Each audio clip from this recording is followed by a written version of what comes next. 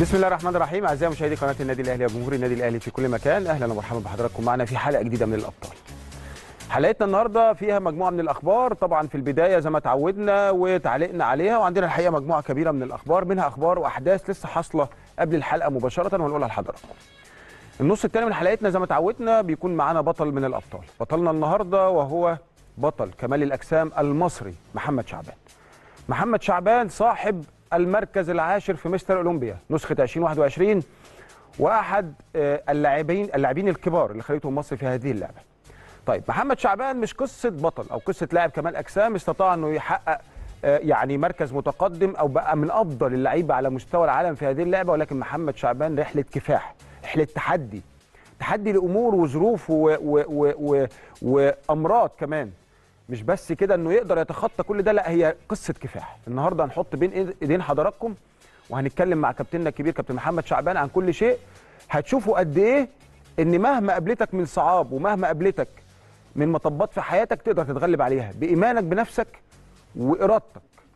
قصة شاب مصري من قرية بسيطة جدا قرية العصافرة في الدقهلية. وابتدى شغلانته وهو ما بي يعني بالعكس هو لا يعني يتنكر من ذلك ابتدى في بداية حياته مهنة النجارة. وغير كل اتجاهه وكل كاريره من هذه المهنة بعد كده وامتهن كمال الأجسام ولكن على كبر. يعني لعبها على كبر نسبيا شوية بالنسبة للأبطال التانيين ومع ذلك ده ما عطلوش. غير اتجاه حياته كله بقرار صعب إن حد ياخده في مقتبل عمره وهو بيمتهن مهنة وبياكل منها عيش بس هو شايف نفسه في حتة تانية. ويسافر دولة تانية ويبتدي يتمرن ويبتدي يشتغل ويبتدي يعني يعني يبتدي يعني ياخد الطريق ده بجد وبتركيز وباحتراف ويصيبه في النص بعض الأمراض ويتغلب عليها. يكفي إنه كان عنده مثلا أنيميا الفول يكفي كان عنده مرض السكر. كل الأمراض دي جت لمحمد شعبان وهو في طريقه. كان أي واحد ما عندوش العزيمة ولا الإصرار ده كانت عطلته على فكرة كان وقف. محمد شعبان النهارده نجمنا أو بطلنا اللي هو ضيف الحلقة النهارده آه، بيتمرن طول الوقت في الولايات المتحدة الأمريكية. الحقيقة جه أجازة أربع خمس أيام تواصلنا معاه طلبناه الراجل لبى الدعوة وبنشكره. النهارده قصة كفاح. قصة كفاح لشاب مصري من قرية صغيرة هنحطها بين إيدين حضراتكم لكل واحد عنده ظروفه بيقول ظروفي صعبة. هنشوف ظروف محمد شعبان وازاي قدر يتغلب عليها واصبح من احد عظماء اللعبة مش في مصر في العالم كله. هنروح لحلقتنا وهنبتدي بكرة اليد رجال. كرة اليد رجال كان عندنا مباراة مهمة جدا مع سبورتنج. آه، من يومين المباراة دي كانت مهمة ليه؟ لأنها على صالة سبورتنج ودايما بنتعثر الفترة الأخيرة في صالة سبورتنج. مستر ديفيد ديفيز المدير الفني لفريق كرة اليد بالنادي الأهلي ده أول لقاء ليه مع نادي سبورتنج اللي بيقوده مدرب منتخب مصر السابق مروان رجب والمباراة كانت في نادي سبورتنج. وملعب سبورتنج ملعب ضيق. ال- الفرق ما بتحبش تلعب عليه. ملعب ضيق وبيخنق الدنيا فالفرق دايما بتتعثر. ساعات رحنا هناك قبل كده تعادلنا ورحنا قبل في السنوات اللي فاتت. وخسرنا. يعني قصدي أقول إن المباراة كانت صعبة. والحمد لله قدرنا نفوز وفزنا الحمد لله بفرق آه، هدفين. الشوط الأول خلص آه، فرق أربع أهداف الأول. أربع أهداف. الشوط الأول خلص 14 12 بهدفين. إنما الماتش كله آه، خلص آه، آه، يعني بفرق هدف واحد 27 26 وكان مهم جدا مكسب سبورتنج. كان مهم جدا مكسب سبورتنج. طيب موقف فرقتنا إيه في الدور اللي إحنا فيه؟ موقف فرقتنا إن إحنا عندنا 12 نقطة. 12 نقطة من فوز على سموحة ب 25 23 الفوز على طلائع الجيش 30 24 وبعد كده الفوز على البنك الأهلي 30 26 وبعد كده التعادل مع سموحة. حلو الكلام 26 26 وطبعا ماتشنا القادم ماتش مع نادي الزمالك. المباراة القادمة مع نادي الزمالك هتكون يوم الخميس القادم في صالة أو مجمع الدكتور حسن مصطفى مدينه السادس من أكتوبر.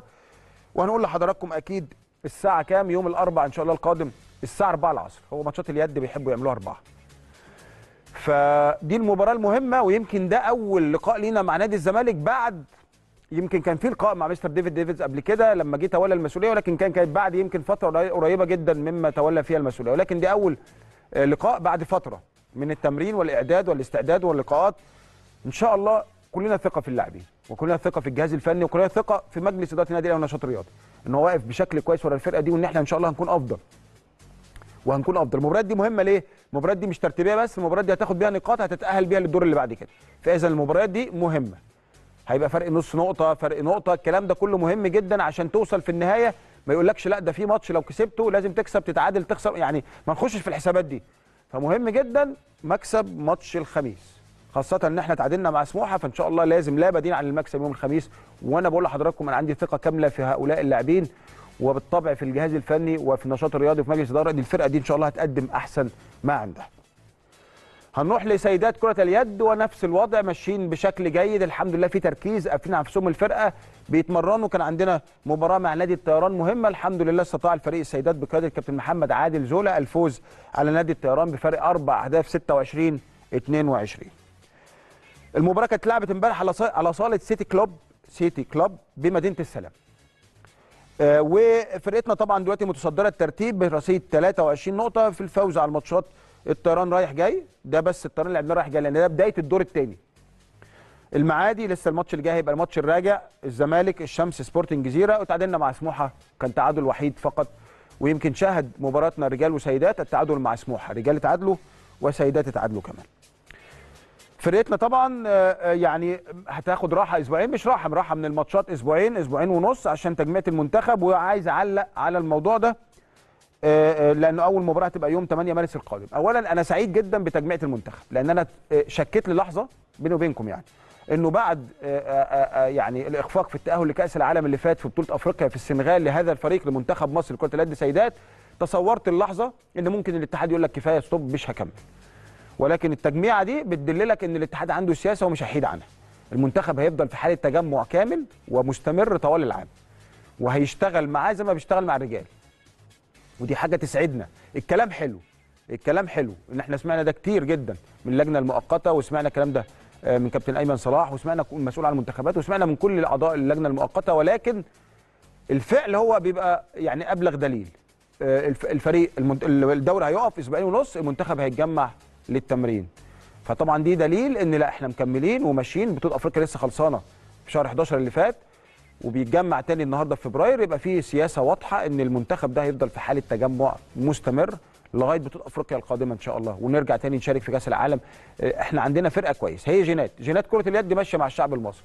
زي الاسكواش. الاسكواش رجال وسيدات كويسين. فما ينفعش إحنا في رجال كويسين والسيدات لسه.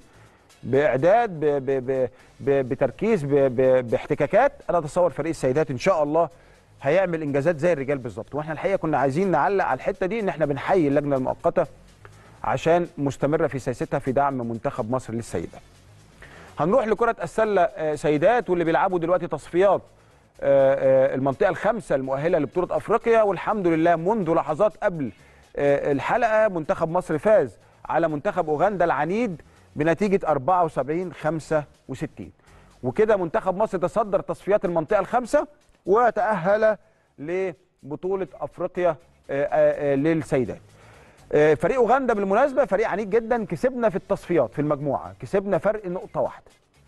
وكانت المباراة صعبة جدا وقعتنا مع كينيا في قبل النهائي ولكن السيدات سيدات مصر في كرة السلة فرضوا كلمتهم وفازوا على كينيا فرق كبير وتأهلوا ل آه, آه و اتنقلوا ليه طبعا للمباراة النهائية وفاز على أوغندا. أوغندا بالمناسبة مجنسين لاعيبه أمريكية ففريق قوي جدا وكان رايح مستعد وكان عايز يطلع بطولة أفريقيا ولكن تحطمت آماله أمام يعني صلابة منتخب مصر والخماسي الأهلاوي بيقود المنتخب بشكل كبير. مين الخماسي الأهلاوي؟ رنيم الجداوي اللي كانت لغاية ماتش النهارده هي هداف البطولة.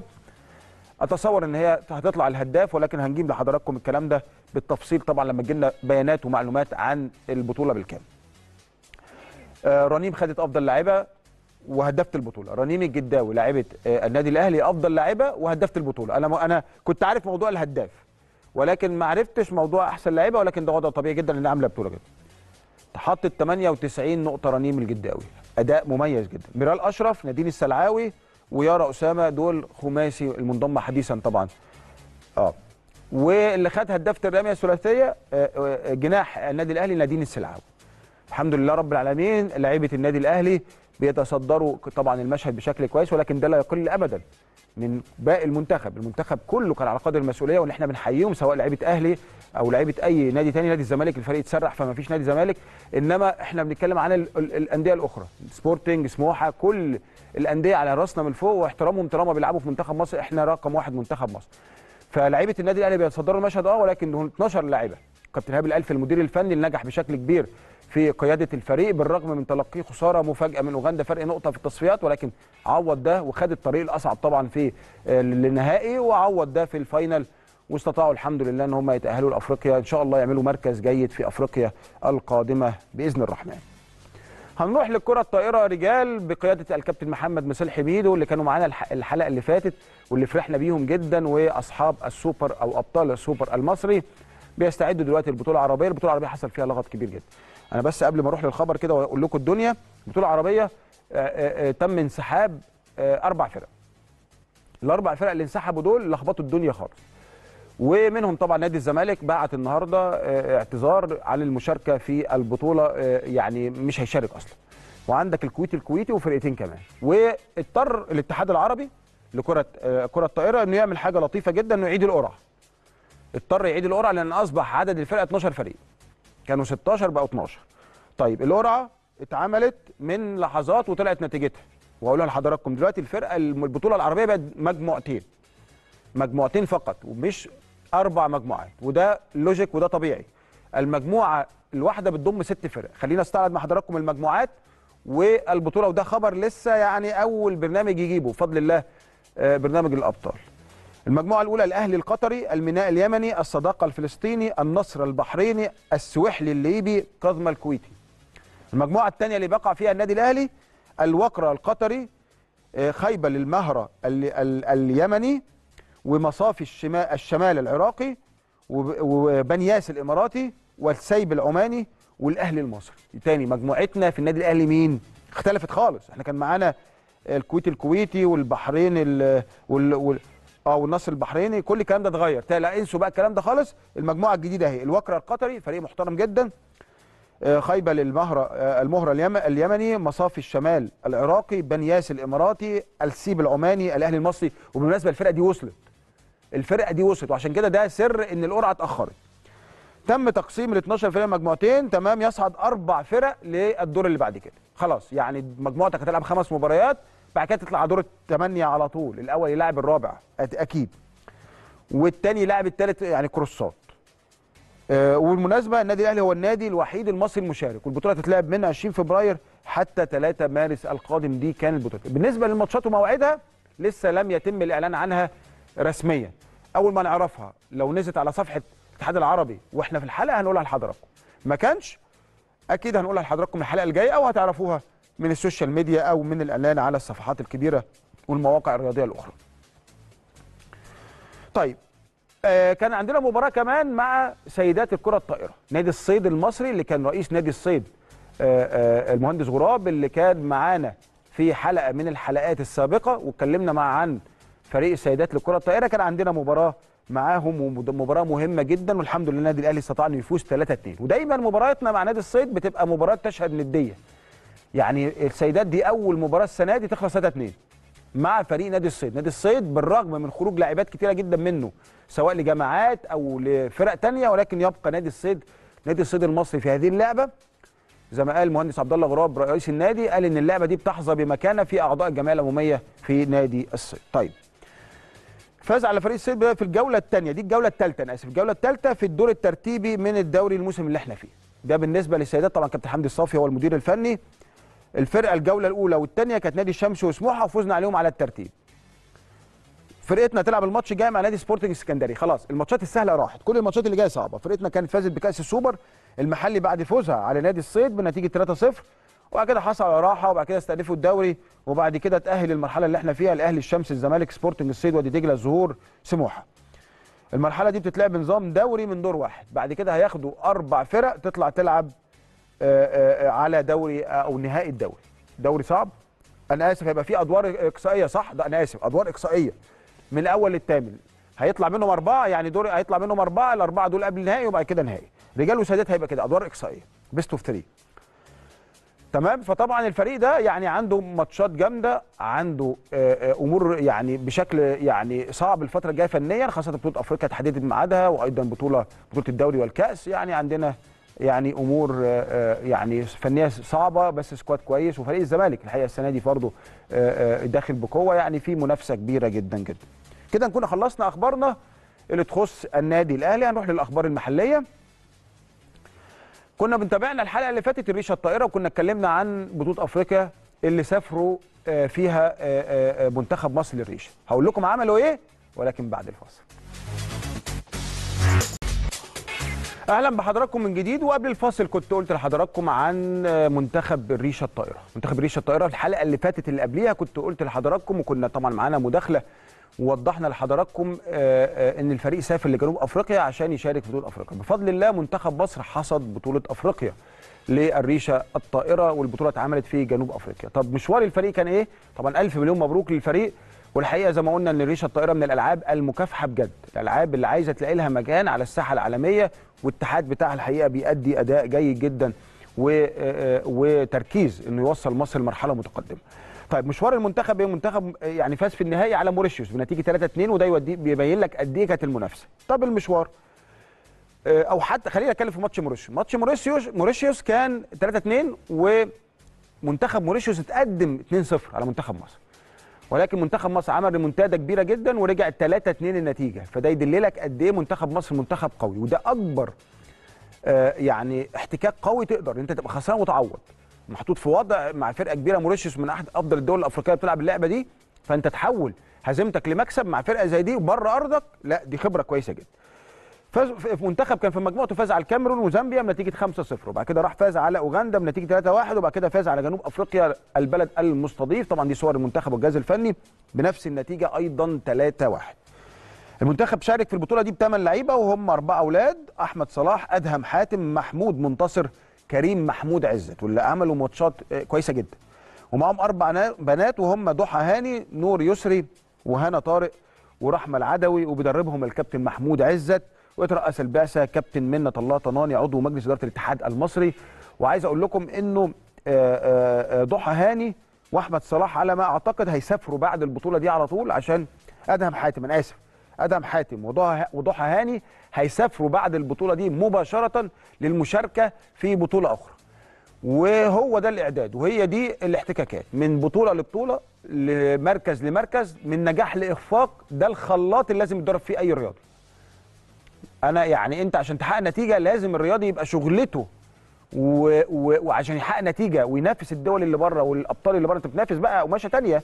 لازم تتضرب في الخلاط ده. تطلع من البطولة تلعب جماعي فردي الفردي الجماعي ترجع على مصر معسكر أوب تروح تاني أوروبا. الخلاط ده بيعمله التح... الاتحاد بقى. دي شغلة الاتحاد.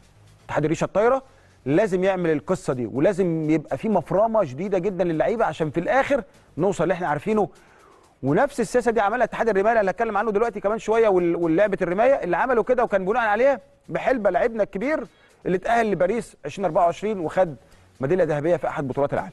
يعني الدنيا دي لازم في الآخر تلاقي إنجاز إنما مش هتشتغل عمرك ما يعني هتعمل شغل وتبذل مجهود زي الخماسي وغيره ومش هتلاقي نتيجة هتلاقي. عندنا خبر آخر ننتقل إليه 51 دولة تشارك في كأس العالم للرماية بالعاصمة الإدارية الجديدة. امبارح كان حفل الافتتاح بطولة كأس العالم للرماية بندقية ومسدس واللي بتتلعب على ميادين الرماية بمدينة مصر الدولية للألعاب الأولمبية بالعاصمة الإدارية الجديدة في الفترة من 17 ل 23 فبراير اللي إحنا فيه. البطولة مشارك فيها كام بقى؟ 376 رامي ورامية من 51 دولة عدد كبير جدا طبعا. الدكتور أشرف صبحي كان هناك رئيس الاتحاد الدولي رئيس الاتحاد المصري والدول المشاركة في البطوله كتير جدا ومختلف القارات. 51 دولة ده رقم كبير قوي يا جماعة. رقم كبير قوي. يعني يعني رقم يعني كبير والمنافسة واضح إن هي ودي طبعا دي صور من البطولة. النهارده كان ختام منافسات فردي رجال وسيدات 10 متر مسدس وهيحضروا اللواء حازم حسني رئيس الاتحاد. رئيس الاتحادين بقى المصري والأفريقي. وعضو الاتحاد الدولي للرماية وويلي جريل رئيس سكرتير عام الاتحاد الدولي وطارق شرارة مدير البطولة. دول طبعا هيحضروا النهارده النهائيات. وزي ما قلت لحضراتكم من 17 لحد 23 فبراير البطولة. طبعا دي لقطات من البطولة. أنتوا عارفين يا جماعة يعني إيه 51 دولة ب 376 رامي؟ يعني بطوله بقت على أجندة الاتحاد الدولي من أهم البطولات. ودي حاجة تسعدنا جدا إن أنت تلاقي مصر ناجحة تنظيميا وفنيا. خلي بالكم يا جماعة أنا أنا مثلا أنت تنظيميا يعني تمام مصر لازم تنجح بفضل الله سبحانه وتعالى بنية تحتية رياضية محترمة كوادر تمام أنا متأكد أي بطولة هتتعمل في أرض مصر هتنجح. مناخ جو أوتيلات بنية تحتية طرق تمام الدنيا تمام ما عندكش مشكلة في تنظيم أي بطولة. اللي بيعجبني بقى وبيهمني أنا على المستوى الشخصي النجاح الإداري والفني. تنظيمي وفني يعني تنافس مش تعمل بطولة وتاخد المركز الأخير ما ينفع شكلها مش حلو. إنما النهارده لما تلاقي الرماية بتنافس لما تلاقي عندك هجيب لكم أخبار تايكوندو وغيره هتلاقوا أخبار حلوة كتير النهارده. هتلاقي أنا بخش أنافس تعظيم سلام و... وأنا أحبك جدا كده. تبقى ناجح في الاثنين وده الوضع اللي تستحقه مصر. إنما نظم بطولة عشان آخد فيها أخير أنا شايف إن نجاحك بيبقى النص.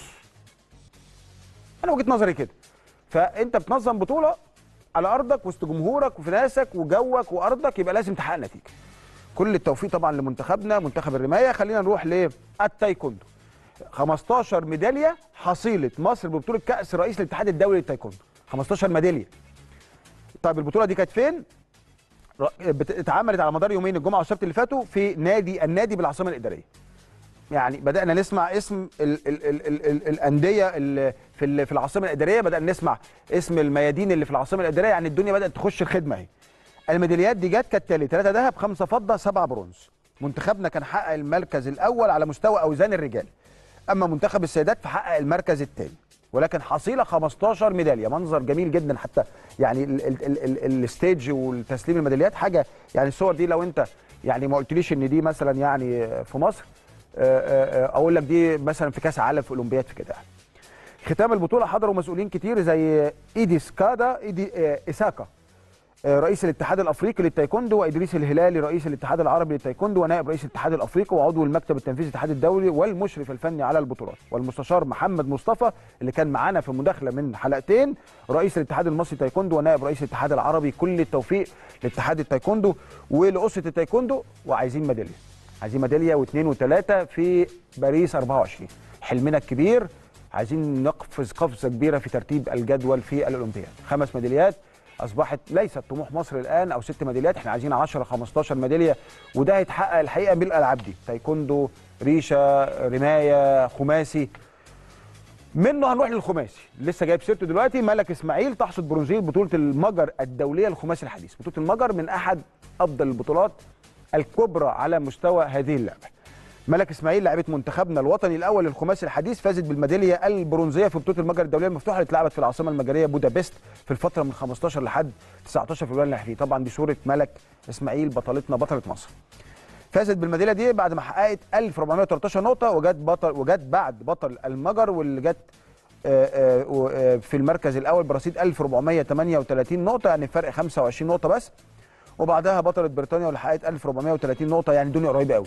إحنا بنتكلم هنا آه، فرق 19 نقطة عن الثاني وفرق 25 نقطة عن الأول، أرقام قريبة جدا ملك تقدر تعمل حاجة كويسة في اللي جاي إن شاء الله. ترأس البعثة في المجر المهندس عمرو شمس عضو مجلس إدارة الاتحاد المصري للخماسي الحديث ومعاه كإداري البعثة هاشم ياسين المدير التنفيذي للاتحاد ويضم بعثة منتخبنا اللاعبات ملك إسماعيل وهيدي عادل ومعاهم اللعيبة معتز وائل ومهند شعبان وعمر وائل وسيف البنداري. زي ما قلنا في الخبر قبل كده ده دي المفرمة من بطولة لبطولة. اللعيبة تنجح في البطولة دي تجيب ميداليه البطولة اللي بعديها وتفشل في دي وتنجح في دي وتفشل في دي ونعلي ال curve وننزله ونعلي ونعالج ونعالج أخطائنا. ده مش هيجي إلا بالاحتكاكات ومش هيجي غير لما تشوف اللعيبة اللي أنت بتنافسها في الاولمبياد مرة واثنين وثلاثة وتاخد عليهم. أنا لما أنزل أشوف لعيب أنا بكلمكم بقى بنظره لاعب قبل كده. لما كنت انزل أشوف لعيب اول مره حتى لو اللاعب ده بسمع عنه في المنطقة لعيب محترف ايا كان بنزل اول ماتش قلقان منه. أتجرأ عليه. أروح مديله كتف كده. ده عادي جدا اهو. طب ما أنا بديله كتف عادي وبيطير. طيب ما افوت منه. اكله حتة كده وأروح طب ما عادي اهو. طب ما هو بني آدم زي زيه. ببتدي اتجرأ. ابتدي اتجرأ. فانت لو ما كنتش ده بالنسبة للالعاب اللي فيها احتكاك. الالعاب اللي ما فيهاش احتكاك انت بتشوف سرعه اللعيبه آه، في الخماسي. لأن انت بتنافس نفسك بنفس الوقت. فالفكرة الاحتكاك الفكرة تشوف اللعيبة اللي هتنافسها والتوفيق بتاع ربنا سبحانه وتعالى. وربنا عمره ما بيضيع مجهود حد. الخماسي الجندي حطينا في ترتيب تاني خالص بعد ميداليته اللي خدها آه، في آه، آه، الأولمبياد. ون- ونفس الكلام الكاراتيه. كل الكلام ده بيفرق معانا وفي الآخر بيترجم لموقف مصر في الأولمبياد بيكون جيد جدا. وأنا زي ما قلت لكم هنغمض ونفتح هي الأولمبياد جت. إحنا 2023 الأولمبياد الجايه 2024 هتقول لي يا كابتن ده الأولمبياد لسه ملعوبه 2021 آه ما اتأخرت سنة عشان كورونا. وقلنا لكم هنغمض ونفتح. ونفس الكلام أنا بقول لكم هنغمض ونفتح لنا نفسنا في 24 خلاص ده الله ده الأولمبياد جد ده إحنا ما لحقناش ده إحنا كان إعدادنا ده, ده اللي ذاكر ذاكر. فاللي عايز يذاكر يذاكر من دلوقتي. طيب عندنا أرض أيضا يعني حدث مهم 45 دولة تشارك تؤكد مشاركتها بكأس العالم للسلاح الشيش بالعاصمة الإدارية. 45 دولة في سلاح الشيش وده حاجة طبعا برضو جيدة جدا لعدد الفرق المشاركة. الاتحاد المصري للسلاح برئاسة الكابتن العزيز عبد المنعم الحسيني أعلن موافقة 45 دولة. ده طبعا الأستاذ عبد المنعم الحسيني رئيس الاتحاد هو اللي في الصورة. موافقة 45 دولة على المشاركه في بطولة كأس العالم سلاح شيش رجال وسيدات. فردي وفرق واللي هتتلعب في الفترة من 23 ل 26 فبراير اللي إحنا فيه بنادي النادي في العاصمة الإدارية الجديدة. البطولة هيشارك فيها 368 لاعب ولاعبة وهم 202 لاعب و166 لاعبة ومعاهم الأجهزة الفنية والإدارية طبعا والطبية عشان يبقى عدد المح... الحاضرين في البطولة أكثر من 500 ضيف. أهلا بيهم طبعا في أرض مصر. آه علشان تسجل البطولة رقم قياسي في عدد الحضور من بره مصر، يعني أنا بس بقول لكم آه، إحنا يعني بنقول أرقام وبنقول دليل. المشاركات 51 دولة 45 صدقوني يا جماعة ما بنسمعش الكلام ده في البطولات التانيه أنا بقول لكم كلاما وصدقا الأرقام الدول اللي بتشارك في البطولات اللي في مصر أنا أكاد أجزم إن بيكون أكبر من أي عدد تاني بيشارك في بطولات تانية. وده بيدل على ثقة العالم كله والوسط الرياضي الدولي في تنظيم مصر و و و و وقدرة مصر على تنظيم بطولات عالية المستوى. وخلي بالكم إحنا بنتكلم على لعبة السلاح إحنا رقم واحد في الشباب ورابع أو خامس العالم في الرجال. وبالمناسبة رئيس الاتحاد عبد المنعم الحسيني لا يخجل ابدا انه يعلن عن الاخفاقات قبل النجاحات. بمعنى اي اتحاد في العالم أو اي اتحاد خدنا الكلام ده في مصر انه بيعلن عن نجاحاته فقط. أنا جبت ميدالية أنا لعبت عملت كذا الأستاذ عبد المنعم الحسيني رئيس الاتحاد أو الاتحاد كله بقى بيعلن الاخفاقات برضه. يعني في ما انت مش كل بطولة هتروح هتاخدها ومش كل بطولة بتروح هتاخد- هتلاقي فيه مكسب. لا بيقول لك أنا أنا النهارده لا تراجعت في التصنيف. النهارده أنا لعبتي ما أديتش الأداء لا هنشوف فين المشكلة ونعالجها. بيعلن الإخفاقات قبل النجاحات. فيبقى ده راجل أمين مع نفسه. يبقى مش أنا ما بتكلمش عن أستاذ عبد المنعم أنا بتكلم على الاتحاد كله. ده اتحاد أمين على نفسه. عايز يوصل نتيجة. عايز توصل نتيجة قول أنت غلطت في إيه؟ وإخفاقاتك في إيه؟ وهتشتغل على إيه؟ يبقى هو ده الصح. وأكد كابتن عبد المنعم الحسيني رئيس الاتحاد المصري ونائبه رئي- ونائب رئيس الاتحاد الدولي للسلاح إن الاتحاد الدولي عنده ثقة كبيرة في التنظيم المصري من سنين وده بعد التنظيمات المميزة جدا اللي عملتها مصر في الفترة اللي فاتت. وكان على رأسها طبعا بطولة العالم اللي كانت للكبار في سنة 22 ودي كانت البداية. وقبلها بطولة العالم للناشئين وبطولة كأس العالم والجائزة الكبرى كل البطولات دي بقت بتيجي في السلاح. طيب هنا النهارده انت بتنجح نجاح تنظيمي زي ما قلت من شوية وبتنجح نجاح فني. يبقى هنا شابوه ونقلع القبعة لهذا الاتحاد واللعبة دي. هتنظم آه، آه، بطولة وتنجح؟ يعني معلش دي مش إمكانياتك كاتحاد يعني دي إمكانيات مصر إمكانيات وزارة بنية تحتية. فأنت نجحت عشان الدولة سنداك إنما أنت بقى تبين إمتى نجاحاتك لما أنت فنيا تنجح. تقول والله يا جماعة أنا طلعت رابع خامس في بطولة عالم تاني جبت ميدالية. تعظيم سلام أنت كده نجحت 100 100 دي كانت أخبارنا وده كان آخر خبر لينا مع الأخبار المحلية. نطلع لفاصل. عشان بعد الفاصل هنستقبل ضيفنا اللي ما شفناش في بداية الحلقة الكابتن محمد شعبان نجم كمال الأجسام المصري وعاشر مستر أولمبيا. في نسخة 2021 وزي ما قلت في بداية الحلقة إن محمد شعبان أو كابتن محمد شعبان قصة كفاح لشاب مصري ابتدى من قرية بسيطة قرية صغيرة كمثال لآلاف الشباب المصري. ولكن كافح واجتهد وقابلته معوقات من مرض وقلة إمكانيات و... وأمور زي كده ولكن تغلب عليها وقدر يوصل للعالمية. هنتكلم في كل ده ولكن بعد الفاصل أهلا بحضراتكم من جديد وفي البداية طبعا برحب بنجمنا الكبير نجم مصر في لعبة كمال الأجسام محمد شعبان. أهلا بيك يا كابتن. حبيبي حبيبي أستاذ هيثم ربنا يحفظك. منورنا. الأول أنا بتشرف بيك واشكرك على اللقاء الجميل ده وكل قناتنا الأهلي والمشرفين عليه إحنا بنرتب له من الفترة ده آه،. ولا وال- وال- ال- اللي خلف الكواليس طبعا آه. لازم أذكر اسمه الأستاذ صلاح ربنا ربنا يحفظه يخليك. فأنا سعيد جدا إن أنا معاكم النهارده. إن شاء الله نقدم حاجة كويسة للناس بإذن الله. كابتن يعني يمكن هتكلم معاك عن البداية. البدايات آه آه أنت ابتديت شاب. طبعا أنا قلت يمكن الاسم القريه هي المعصره المعصره الدهليه أيوة. أنا هو خلي بالك أنا راجل جذوري من الدهليه زيك. آه لا إحنا بلديات أصلا. آه يعني فاحنا يعني الدهليه مع بعض خرجت عظماء يعني. كلمني عن البداية. يعني إحنا كنا بنقول في المقدمة إن أنت رحلة كفاح وشاب زي أي شاب مصري ابتدى حياته وكان ليه طموحات وأمال. كلمني عن بداياتك ابتديت إزاي في قريتك وإيه اللي خلاك تروح لكمال الأجسام؟ والله الموضوع كان صعب قوي يعني البداية إحنا طبعا من أسرة بسيطة جدا. غير مت... يعني من الأول معدومة الحال في الأول. الحمد لله النهاردة بقينا لله الحال طبعا. آه كانت ما فيش حاجة اسمها فكرة عن الرياضة. بدأت طبعا حياة ال... البداية كطفولة كانت آه مرض أنيميا الفول لمدة 12 سنة. انت وانت عندك 12 سنة؟ لمدة جالك 12 أني- سنة من سنتين لحد 12 سنة. من سن سن سنتين لسن لسن 12 12 سنة. عندك أنيميا الفول. آه. طيب ال- المرض ده انت اتولد يعني جالك انت آه، صغير نشأت بيه. كان تأثيره عليك طبعا إيه؟ قال لي إنه جالي وأنا عندي سنتين طبعا. طب جالك إزاي ولا كان تأثيره إيه الأنيميا الفول؟ إيه تأثيره عليك؟ تأثيره انه كان هي المرض ده هو أنيميا الكرات الدم البيضاء بتاكل الحمر آه. إذا أنت أكلت أي شيء بقوليات أو أي شيء بينقسم النص أو اللي هو جميع يا البقوليات يعني أبيض. فكان الموضوع صعب جدا لأن أنت أنا شبه ضعيف جسمانيا. آه. وطبعا والدي الله يجزيه يديله الصحة ويحفظه يا رب. هو اللي كان آه، مباشرني ومعايا دايما. فتخطينا المرحلة دي عند 12 سنة. والحمد لله ت- ت- شاف يعني مش. تخطيناها من المرض لا يعني أنا اللي بدأت أتجاوزها نفسيا. آه. لكن كان المرض مستمر أنا معاك. عندي 13 سنة أو 14 سنة خدت دم تاني. فعلا نقل. دم وكده آه. يا خبر أبيض. بعد كده أنا طبعا كنت بشتغل نجار وبتعلم النجارة من وأنا صغير. فعلا. آه. الله أكبر. فكنت بتعلم نجارة بجانب الدراسة وكده. ف في سن في سن حوالي 26 سنة أو 27 سنة. كبير. آه. طبعا عندي نجار نجار وعندي ورشة و... يعني ما شغال. أناش وشغال يعني فكنت ليا صديق رياضة كمال الأجسام جت بالصدفة البحتة يعني. آه. أنا شغال عند صديقي زي الأستاذ هيثم كان اسمه أحمد يحيى. آه. فهو مدرب سباحة وكده. فقال لي ليه ما تلعبش كل ده كنت في قريتك لسه وأنا مع لسه. آه. تمام. فليه ما تلعبش كمال أجسام؟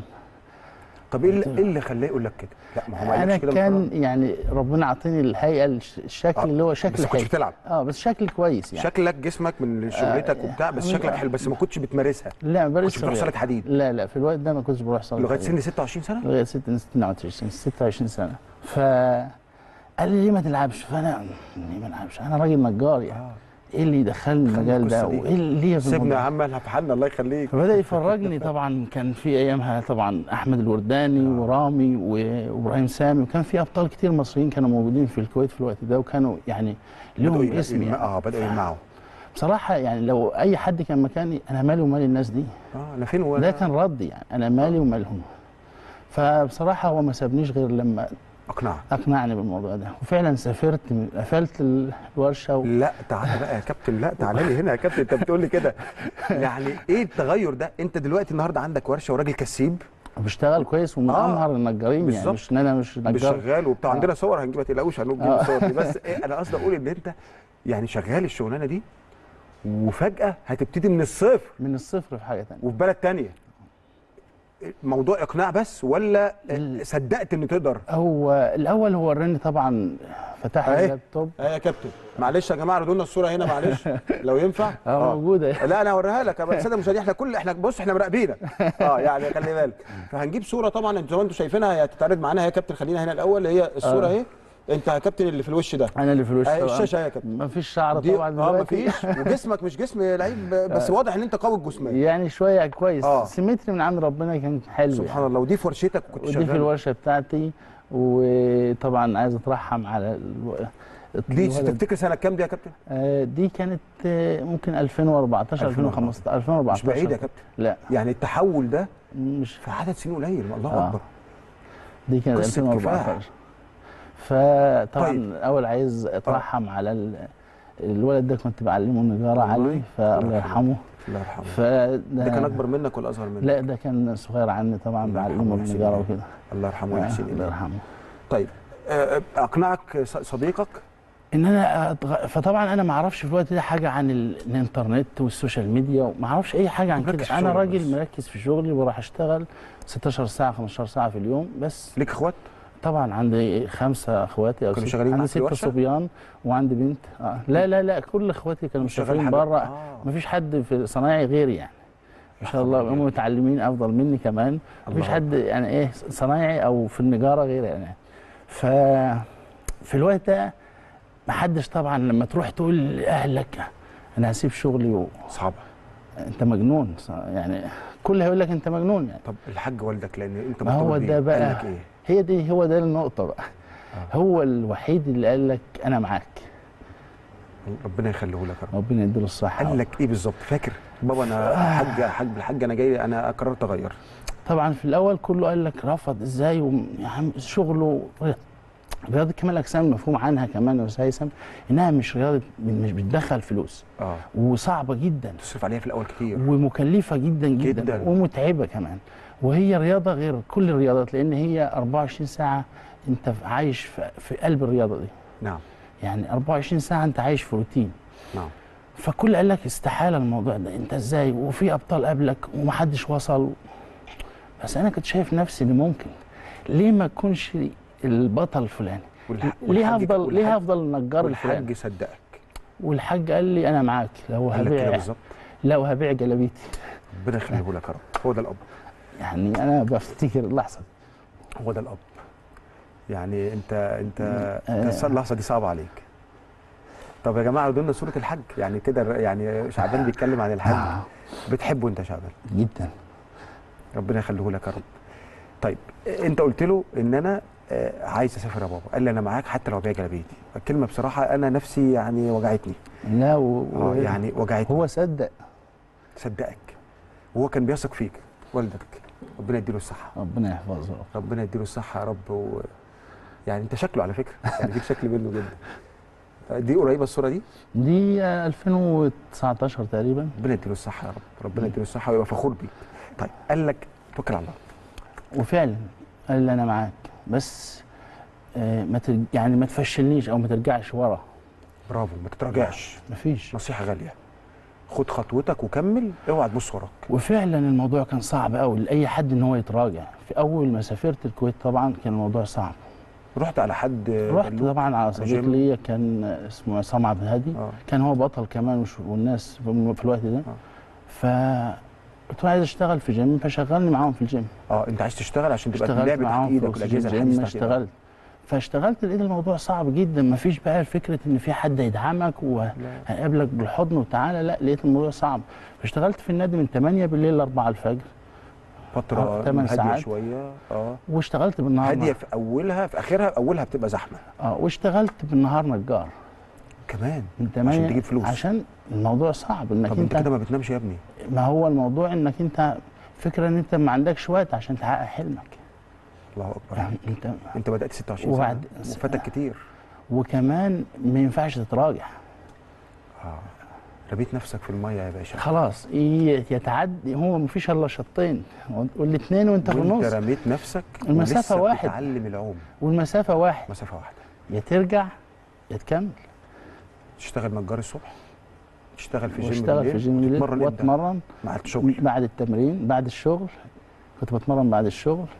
وأخلص. يعني كنت بنام لي حوالي ساعتين ثلاثة في اليوم أربعة. في أيام ما كانش قعدت كده شهور. قعدت كده شهور. لغاية ما في يوم قالوا لي إن في بطولة في الكويت كانت كام سنة قعدت في الفترة دي بقى؟ لا أنا آه بص لا أنا ما قعدتش فترة كبيرة بقى. بص معلش اعذرني أنا عايز أتكلم في تفصيل تفصيل. لأن إحنا لينا ملايين الناس المغتربة بره أخواتنا وأهالينا وحبايبنا وشباب زيك بيتفرج عليك يمكن في قريتك المعصره أو غيرك. والنجاح اللي أنت حققته في لعبتك غيرك عايز يحققه في مجالات. تانية. فلازم يلتقي يعني ياخد الإلهام منك. و- والاصرار منك. وكمان في نقطة عايز أنا مش حلمي أنا حلمي أعلم الناس المثابره وإنها إزاي تحقق هدف مش بس في رياضة كمال الأجسام لا في أي حاجة. لأن. مش كل حاجة هي رياضة كمال الأجسام. في. أي رياضة في أي شيء هتصابر وتقدر تقدر. مهندس أنا آسف حتى لو بنا كل شيء كل واحد طيب يقدر هنرجع. لقصتنا قعدت كام سنة في الكويت؟ بتشتغل الصبح وتتمرن وتشتغل بالليل. هو الموضوع ده أنا اشتغلت فيه سنة. بس كنت بعد بعد حوالي من سبعة لثمان شهور أنا كنت بلعب مم. بطولة مصر أولمبيا الكويت آه. وخدت مركز ثاني يعني أنت أول بطولة تلعبها كانت بطولة عالم وخدت مركز ثاني كانت بتتعلم في الكويت. كان أول بطولة تشارك فيها؟ أول بطولة في حياتي أشارك فيها. لا. بص دي رسالة من ربنا. أنت محظوظ. الحمد لله. خلي بالك لأن الحاجات دي أنت محظوظ ومش محظوظ يعني أنت مكافح. يعني بس, بس ربنا الحمد بيدي لله. رسائل للبني آدم. طبعا. لما يلاقي واحد زيك هو ربنا الأدرى بيك. وأنا وأنا كنت دايما أسأل أستاذ هيثم هل مش أنا كويس؟ هل أنا أنفع أكمل ولا ما أكملش؟ كنت تسأل السؤال ده. كنت. بسال ما بسألش حد أنا حلو ولا وحش لأن مش هينفع تقيمني. أنا عايز أعرف ينفع أكمل؟ أقدر؟ شايف إيه؟ طب لما كانوا في الجيم بيشوفوك في الكويت بيحصل transfer لجسمك و- وشكلك ما كانوش بيستغربوا. في ناس كتير كانت بتقول في ناس كتير كانت مؤمنة إن أنا في يوم من الأيام هوصل. في ناس من كل اللي حواليا والناس دي لسه حاليا أنا معاها المدربين اللي كنت شغال معاهم اللي هم كانوا زمايلي في الجيم وحاليا لسه بنتواصل فالناس دي كلها كانت مؤمنة إن أنا أقدر أوصل. كانت شايفة فيا ليه ليه ما توصلش وفي ناس كتير جدا شايفة إن واحد هيشتغل على نفسه شوية وهيتعب زي غيره. آه. أحبطوك.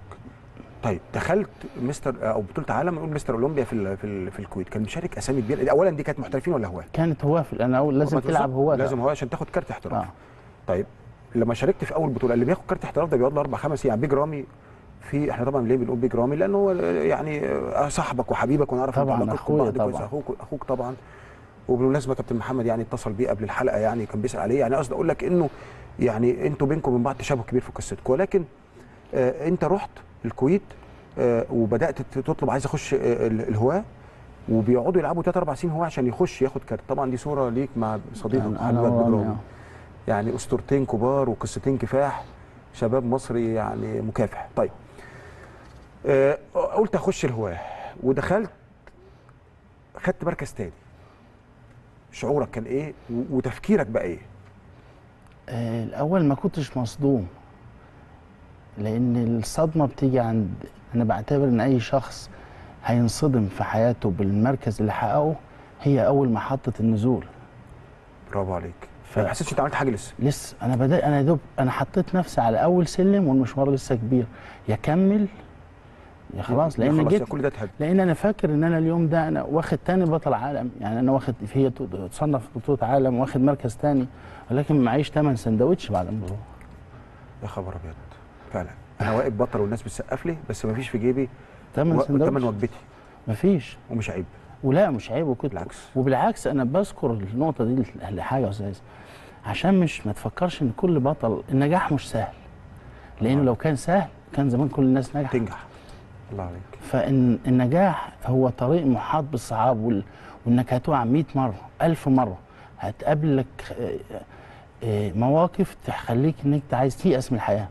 بس لازم تتعداها طيب انت قعدت دخلت خدت تاني اوتوماتيك خدت كارت احتراف خلاص. لا ده أنا أنا ما كنتش أعرف حاجة في الرياضة أصلا في آه ده انت. دخلت كده؟ أنا ما أعرفش حاجة. ماشي. أنا لعبت تاني مستر أولمبيا خلصت.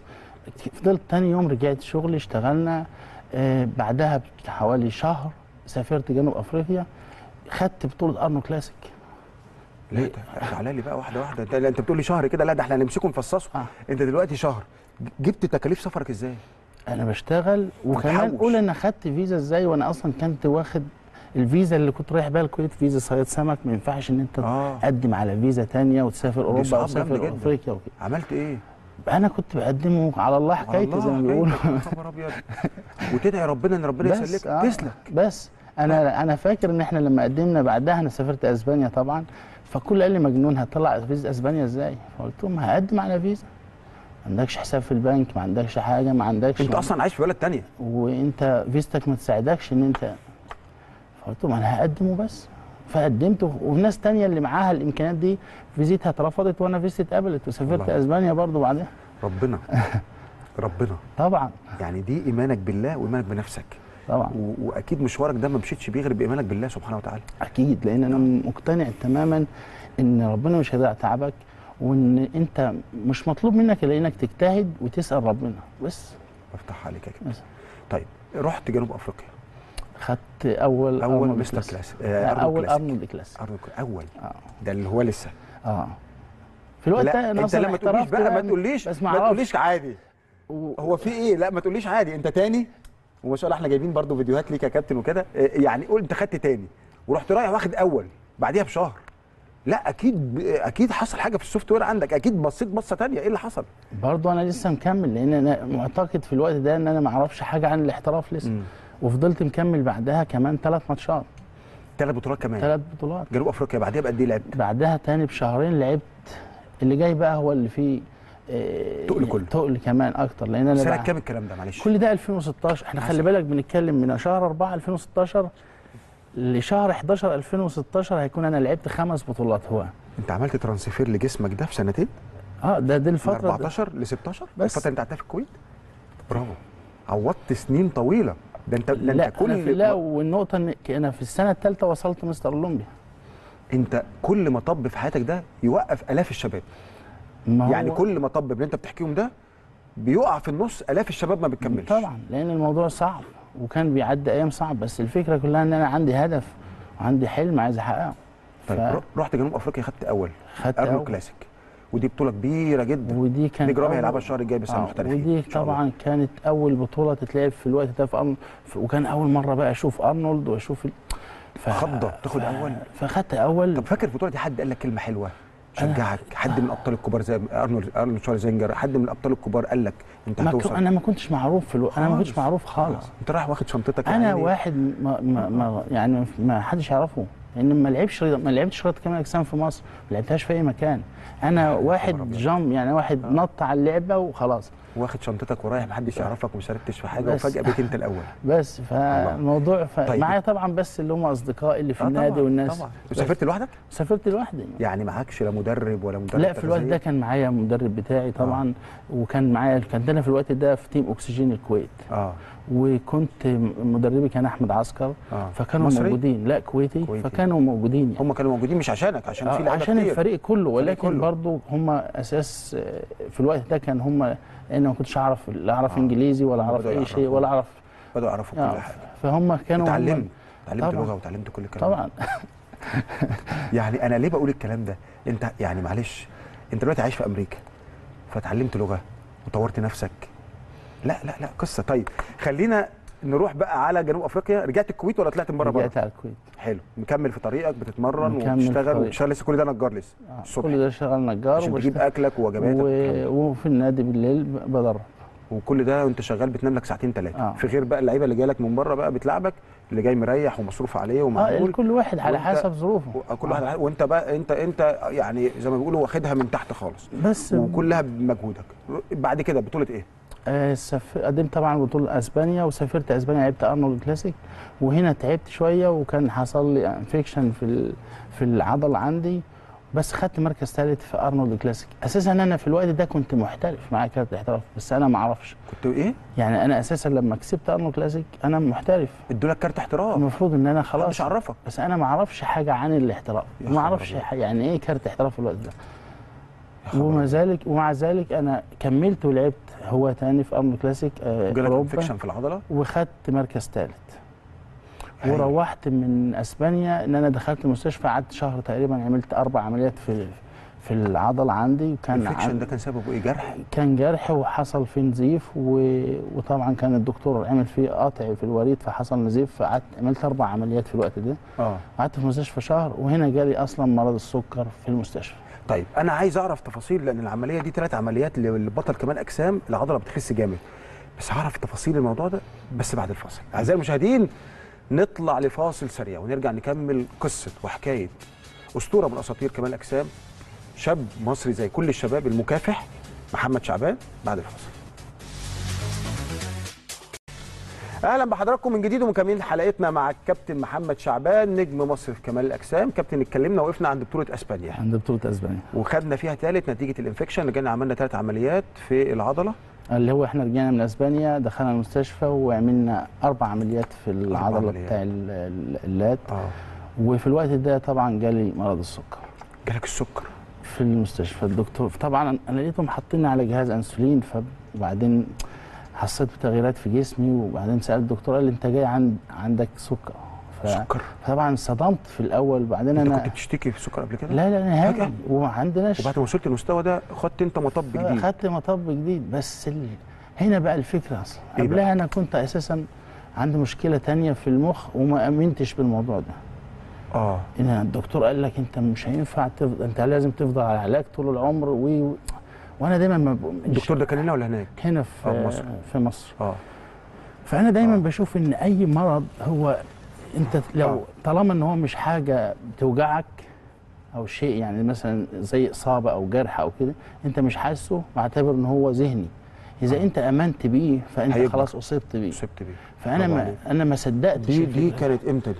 دي كانت في المستشفى أخير في أمريكا قبل مع الفيروس الأخير. آه. لا دي هنتكلم عليها بعدين بس أنت كنت تعبان ده أنت أنت أنت بص أنت اتمرمطت جامد. دي كانت في أمريكا وأنت في أحد المستشفيات بتعالج من فيروس جالك في الجهاز الهضمي. دي كنت رايح أعمل عملية منظار آه. بالمعدة.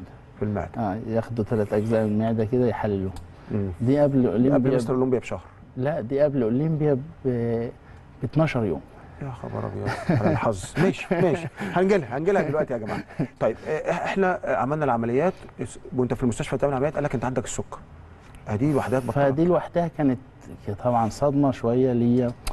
بس ما صدقتش الموضوع ده. ما صدقتش خالص. فضلت ماشي على العلاج وماشي على النظام. أنا ما صدقتش لي أنا راجل رياضي وباكل أكل كويس صحي وبمارس الرياضة. ف إزاي يجيلك سكر؟ إزاي؟ بس هو ده اللي حصل إن أنا قعدت- واتغلبت ونظمت أكلك؟ 2016 لحد 2018 أنا مريض سكر. وأنت إيه؟ مريض سكر. بعد كده الحمد لله. إنسولين وبتاخد باخد حاجة. إنسولين ودلوقتي. الحمد لله؟ الحمد لله. الله أكبر.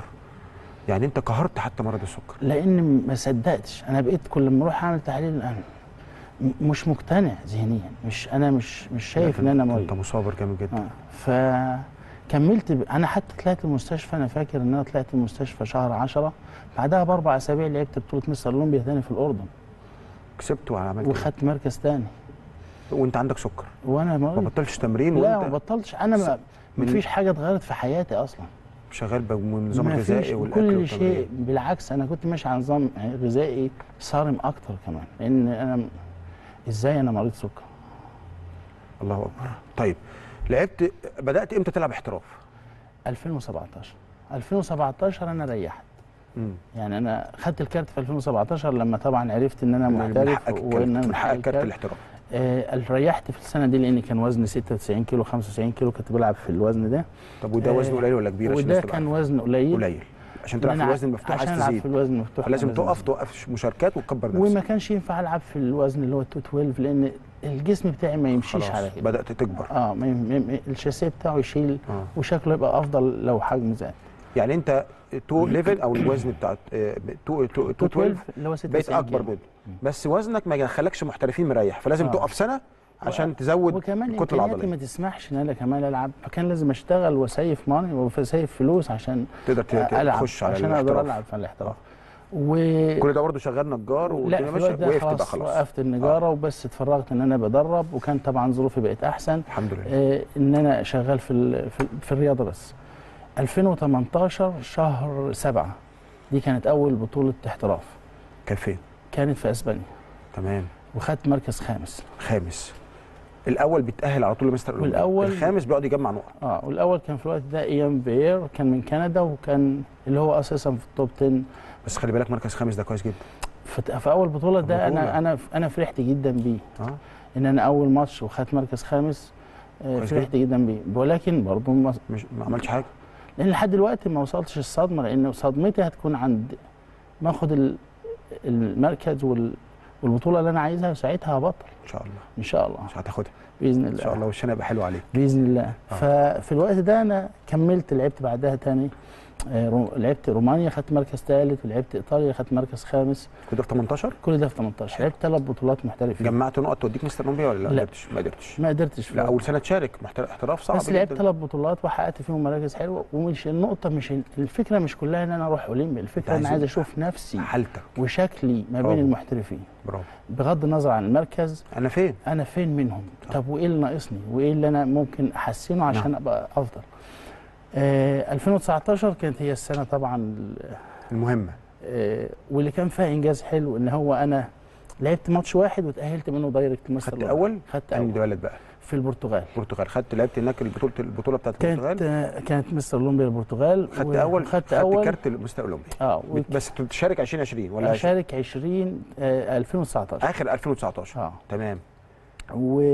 ولعبت 2019 ما ظهرتش كما يجب خدت كام في 2019 خدت مركز 16 بس ده كويس جدا. في اول مشاركه مستر أولمبيا م- 16 أنا ما كنت يعني بس عشان الناس تبقى عارفة كام لعيب بيشارك مستر أولمبيا؟ آه في ألو... كان في الوقت الحالي 18 ل 20 لاعب. طيب يعني أنت بتتكلم إن أنت دخلت يعني كونك هو إن أنت تتاهل آه. اولا فكرة مستر أولمبيا أستاذ هيثم إن أنت كمان تتأهل لمستر أولمبيا في حد ذاته؟ ده ده انجاز تاريخ. تاريخ. إنك أنت تقف على ال stage ده على المسرح ده وتحقق وتشارك الناس دي. طبعا. ده لوحده إنجاز كبير قوي. الناس. المفروض إحنا يعني ناس في ناس كتير بتحارب عشان توصل له. صحيح. طيب رحنا آه، آه، آه، مستر أولمبيا 2019 طيب بعد ما رجعنا من مستر أولمبيا شاركنا في بطولات تانية وخلاص الموسم الجديد هيبتدي.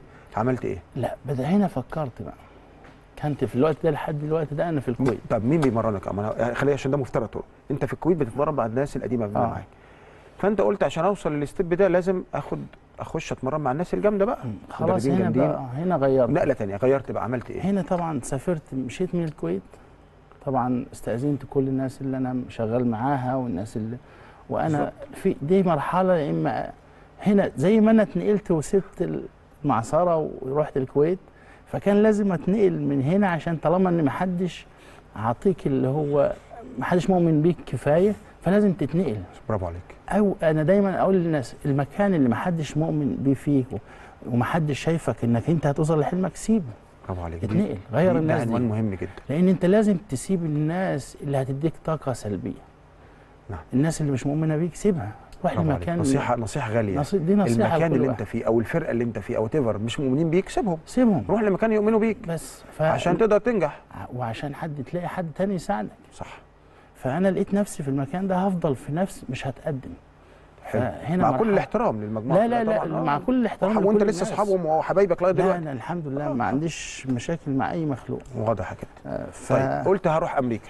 وفعلا 2019 أنا مشيت على أمريكا. طيب لما رحت أمريكا أنت رحت على مين؟ حد قال لك تعالى ولا أنت قلت هروح لوحدي؟ عملت إيه؟ إيه الطريق اللي أنت خدته؟ طبعا أنا في أمريكا طبعا عندي حياتي وعندي مستقر هناك. دلوقتي؟ آه. إنما بتكلم 2019 آه، بقى. كان الموضوع آه. صعب وكان هناك مدربي طبعا تشارلز جلاس اللي هو كبير. اللي هو طبعا ال godfather بتاع الب- أب الروحي لكمال الأجسام. أنا كان نفسي أتمرن معاه. مرة مين قبلك؟ مرن فيليكس ويلر آه شون رودن الله يرحمه. آه إيه ده إيه ده بكام جد؟ آه، طب مرن هو اللي طلب انت تمرنه ولا يمرنك ولا انت اللي طلب هو شوف النقطة هنا بقى هي قصة كده ورا. ما أنا عايز التفاصيل دي يا كابتن فأنا طلبت. منه في الوقت ده إن أنا عايز أتمرن بس المفروض إن هو الحصة بتاعته ب 400 دولار بالساعة طب بتاعته ماشي. انت انت كلمته فين؟ أنا كلمته على؟ الإنستجرام آه. وعايز أتمرن معاك. هو رد عليا هو الأسيستنت لا هو رد الأسيستنت قال لك خلاص ماشي نتمرن في اليوم حددنا موعد ونتمرن. بعد انت رحت أمريكا؟ آه. لا واحدة واحدة. انت هو شافك في أي بطولة من البطولات اللي شاركت فيها؟ لا لا لا هو ما يعرفنيش ما أساسا. يعرفكش. أنا واحد بالرغم انت شاركت مستر اولمبيا آه ما هو في نقطة بقى كمان عايز أوضحها أيوة. للناس. أنت ممكن تشارك مستر أولمبيا، ممكن تفضل تلعب في بطولات العالم للمحترفين في أوروبا والوطن العربي. بس بالنسبة لأمريكا أنت هتفضل مش صغير. مش ظا- مش ظاهر. الدنيا واسعة. عشان تت... عشان تعمل حاجة لازم تلعب هناك. الحك... كل شيء هناك فأنت لازم تتنقل لازم بلدهم اللعبة بتاعتهم. آه عشان كده دايما. بنصح أي لاعب محترف إنك لازم تلعب هناك لازم تبني اسم هناك. ممكن يبقى عندك جمهور مصري بس أنت محتاج يبقى عندك جمهور لأن الناس دي هي اللي هتشتري تذاكر وهي اللي هت... برافو عليك. طب أنت أنت كنت عارف المعلومة دي قبل ما تروح أمريكا؟ ما هو طبعا أنا رايح عشان كده. حلو. كلمته أنت رحت أمريكا؟ رحت على الله كده حكايتك ولا لا كنت لا مظبط طبعا معاه؟ طبعا عندي طبعا بيت ظبطت؟ طب ظبطت دنيتك. يعني انت يعني عايز أقول لك حياتي أنت طبعاً. رايح على دنيا مش ظبطه آه. أمين خلاص إحنا آه. مش عايزين نعرف تفاصيل. بس آه. رحت بعد كده؟ رحت بقت وانت في أمريكا؟ وأنا بقى موجود في للجاد أمريكا father بتاع كمال أجسام. آه وبعت له آه، رسالة إن أنا عايز أتمرن. آه. رد عليك ال assistant آه ال assistant رد وحددنا موعد ورحنا نتمرن. الأول قلت له شوفني. الأول أنا بس فشاف عشان نقول اللعبة مكلفة قد إيه الساعة؟ 400 كانت. المفروض إن تكلفه الساعة عنده 400 دولار. يا خبر فأنا طبعا عايز منه بس أتمرن معاه مرة عشان نفسي هاخد. تصوير أتصور آه. وأتمرن. فرحت اتمرنت. فقلت له الأول شوفني وبعدين نلعب نتمرن فشافني وبعدين نتمرن. بعد التمرين فالمفروض إن أنا اطلب منه إن هو يمرني أو هيعمل إيه أو هيحاسبني إزاي. 400 دولار بالنسبة لي في الوقت ده يعني رقم كبير. رقم. هو بالنسبة له ولا حاجة 400 جنيه. فقال لي هو بالعربي كده يعني أنت عندك you have more you have too much potential يعني. آه آه، عندك ف- رغبه جديده أو أنت عندك إمكانيات أنت تبقى حاجة كويسة وأنا همرنك. بس كده. الدنيا اتفتحت. بس هي كده. آه قال لك همرنك أنا مؤمن بيك. بس هو سبت الحتة اللي مش مؤمن هو بقى من عند أنا هي. من عند ربنا من عند. ربنا. هو لو قلت لك إن الراجل ده باع بيته واشترى بيت جنب مني يا خبر أبيض عشان يمرنك. عشان يب- يبقى جنب مني. لا لا. هو هو أسمراني؟ آه. هو في فيديو بتتمرن واقف جنبك؟ آه هو يا موجود جماعة سيبوا لنا الفيديو ده تاني اللي هو انت بت- بتعمل hack squat لا أو بتطلع آه، على هو- step كده آه، عالية؟ هو- هو موجود. أسمراني في- بدقن خفيفة كده. آه هو موجود. هاتوا الفيديو ده يا جماعة. المدرب ده باع بيته؟ باع بيته انت كنت في ولايه إيه؟ أنا في كاليفورنيا بس هو كاليفورنيا. بعد بي- بيته كان يبعد عني ساعة أو ساعة ونص. باع؟ باعه واشترى بيت دقيقتين مني. بالظبط. وعايز يمرنك آه. والجيم ده كان قريب منكم أنتوا الاثنين. والجيم حوالي 20 دقيقة من بيتي 2019 آه. بدا يشتغل معاك. قول لي واشتغل بقى. معايا. لحد. دلوقتي هو والدي يعني والدي الأمريكي يعني زي ما بيقولوا. يا خبر أبيض. هو إحنا هنروح أمريكا على حسك. ده إحنا نروح أمريكا. ده إحنا نروح أمريكا على حسك يا أبو كباتن. ده أنت. كده بقيت حاجة ما شاء الله جامدة قوي طيب آه، آه، آه، اتمرنت معاه ولسه بتتمرن معاه لغاية دلوقتي؟ ومواظب. وما شاء الله. يعني انت عامل فورمة. الله أكبر. الحمد لله. الله أكبر يعني. الله لله. أكبر. عامل فورمة جميلة جدا. طيب اهو هي على الشاشة اهو ده المدرب آه، بتاعك صح؟ اللي لابس. آه، ايس هيد ده مش آه كده؟ هو الراجل آه. هو طبعا كبير في السن هو- ربنا يحفظه. آه هو اللي واقف وراك ده آه. مش شايف على تمرينك. آه. ده قريب ده كابتن التمرينة دي ده كان 2021 آه ده قبل قبل مستر آه. أولمبيا والعاشر. آه. طيب هو بيمرن لعيبة تانية غيرك؟ في الوقت الحالي كمحترفين كبار لا. لا هو آه مؤمن هو بيك خلاص هو معهوش غيري في الوقت, في الوقت الحالي مم. وطبعا هو سنه كبر كمان طبعا بس طبعا في ناس كتير بتروح له عشان تصور من كل معاه. العالم بيروح عشان يصوروا معاه بس أو يعملوا معاه فيديو طبعا لأنه آه. اسم كبير زي ده لما بيظهر آه. معاهم يبقى دخلوا التاريخ طيب هو بيمرنك وبتشغلين مع بعض و- و- وبتبذل مجهود وبيظبط لك فورمتك وكل الأهم كده من إن هو بقى بيمرنك أيوة. إن أنت حسيت إن لما حد بتحس ان هو مؤمن بيك. أنت مم. فاكر أنا قلت لك آه. إن لقيت والدي مؤمن بيك فأنت إديت لك. عشان تقول لشخص مؤمن بيك أو شخص بيدعمك تقول له شكرا أنا بعتقد كلمة شكرا هي إنك تنجح. الله عليك. بس. شكرا للي امن بيك إن أنت إنك تنجح. تنجح ما هو مش مش مش إنك تقدم له أنا حاجة. بس عايز أقول أنت عمال تقول حكم بقى يعني والله العظيم. والله العظيم بتقول حكم لا هو ده اللي أنا بعتبره. أنت قلت كلمة لا استنى يا كابتن. أنت قلت كلمة حلوة جدا مستحيل حد يقدر يعبر عنها. كلمتك اللي بيؤمن بيك وعشان تقول له شكرا؟ إنك تنجح وتحقق. حاجة. لأنه هيبقى أسعد واحد. صح. مش هيبقى فرحان بشكرا. هو ده هو ده المردود. هو ليه آمن؟ هو آمن بيك فمش عايزك عايز عايز في الآخر يقول أنا كنت على حق. مش عايز آه. مش عايز تطول رقبته. طبعا. لا لا ده أنت قصة. يعني يعني الكلمة خلي بالك خلي بالك الكلمة دي مش أي حد يعرف يعبر. أنا فعلا الكلام ده جوا جوايا. يعني أنت حتى شوف من كتر إحساسك أنت بتدمع. آه يعني من كتر إحساسك بال- بالكلمة وإن أنت فعلا حابب الراجل اللي آمن بيك واللي, واقف جنبك أنت عايز تنجح عشانه مش عشانك. آه عشان عشان اللي آه. وراك عشان لو شخص واحد ممكن تكون نص كل ممكن يكون ألف شخص مش مؤمن بيك بس شخص واحد انت انجح ما هو أنت بتنجح أنت نجاحك لنفسك بس الشخص ده آمن بيك. إيه إيه جزاؤه؟ الله أكبر عليك. طيب أنت أنت ه- هوصل بقى لآخر مرحلة؟ عشان هرجع بس في مقتطفات بقى. أنا واخد الحوار آه. من, من تحت لفوق. هنوصل ل رحنا أولمبياد رحنا مستر أولمبيا 2021 وكان المدرب ده معاك. ودخلت وخدت عشر وده كان إنجاز كبير. آه طبعا في آه. في الوقت ده ده وقت الضيق ده. آه أنا فاكر في اليوم ده يعني إن أنا جيت آه، قعدت أحمد ربنا لأن أنا في أول السنة قلت أنا نفسي أتأهل و آه، أبقى تأهلت عن طريق أربع بطولات وكان الموضوع صعب. أيوه ما خدتش أول. وما تاني تاني في تا في رابع في في خامس. خدت الوايت card آه. وطلعت. بس ب- بس مش wild card بالنقط. بال بالع... آه خدت بالنقط. اللي هو ال- ال- النقط وط- طبعا النقط دي اتلغت الوقت كمان ما دلوقتي أول بس. ده الموضوع صعب. بس الفكرة كلها إن أنا كنت مبسوط لأن أنا عارف إن أستاهل أفضل. مم. ولكن أنا بدفع ثمن اسمي دي السنة اللي خد فيها بيج رامي اللي هو ال- السانتو بس آه، انت اتأهلت بصعوبة. وصلت على فكرة أنا فاكر برضو بيج رامي اتأهل في البطولة دي برضو بصعوبة. ما اتأهلش بسهولة. لا ب- رامي كان كده كده متأهل لأن رامي أي حد بيلعب مستر أولمبيا وخد مستر رامي رامي خد مستر أولمبيا لا. 2020 2020 آه 2021 ف 2021 هو متأهل already انت انت انت, أنت أدرى مني بس أنا آه. فاكر في واحدة منها اتأهل منهم اللي هو أول واحدة آه كسبها كان 2020 لما هو كان في كورونا وجاله كورونا لما تعب آه يبقى أنت أنت فاكر. أكتر مني يعني أنا قصدي أقول لك إن برضو طريقه ما كانش في البداية مفروش بالورد ما فيش آه. أنا في الأول قلت لك الطريق إنك تنجح مش سهل مم. عشان كده مش كل الناس ناجحة طيب سنة 2021 كانت سنة حلوة عليك أنت برضو آه. اتاهلت بصعوبة تأهلت بصعوبة بس الحمد لله إن ربنا أكرمني بال- باللي أنا كان نفسي فيه طول السنة. يعني أنا حطيت لنفسي خطة ومشيت عليها مع الناس اللي معايا. وطبعا كان في الوقت ده أساسا 2021 أنا طبعا كمان ربنا رزقني ب- بكوسكواد آه آه فريق كوسكواد ف- انت بتلعب فيه في مصر طبعا. ف- آه فريق فطبعاً الفرقة اللي, كان- اللي بتلعبوا فيها وبيج رامي بيلعب له آه وكل الفرق. فكان ده team كمان في, في, في ظهري آه. فكان في دعم. في دعم. فكان آه. مضطر أقول شكرا آه يعني آه. يعني أكيد النجاح للناس للفرقه دي آه. وخلي بالك هم الهدف من كوسكواد الفرقة دي إنه يطلعوا زيكم طبعا لأن هم بيحطوا النهارده شوف النهارده كل الناس بتشوف إن الموضوع بقى سهل إنك أنت آه تجيب المعصره وبقى قاعد في- خلي بالك في ده فكرة. فكرة صغيرة يعني المستر إسلام كرطان في البداية مؤسس كوسكواد وآمن بيكو وصدقكو والهدف دلوقتي إنه يطلع طاقات الشباب أو يهديه شوف أنت لما بدأت ما كنتش عايز تروح الاحتراف إزاي فالنهارده كوسكواد بياخدك من إيدك بيوفر يمشيك. على الشباب طبعاً. وبعدين كمان إحنا بن بنحاول نقول للشباب الموضوع مش صعب انت. تقدر. تعالى تعالى ضيع طاقتك و... يعني ابذل طاقتك دي في حاجة مفيدة آه. بس مش العب. عايزك تحس إن كل حق هو كل حد بيدعمك هو محقق لا امم صح عشان لو انت حسيت النقطة دي ساعتها مش هتقدر تدي كويس آه هو مش حقك طيب خلينا نروح ل 2021 الحمد لله ربنا كرمك. دخلت مستر أولمبيا بدأت تستعد لبطولة مستر أولمبيا بتاعت 2022 آه 22 بقى كانت سنة مليئة بالمشاكل. يعني كانت ماشية حلو جدا.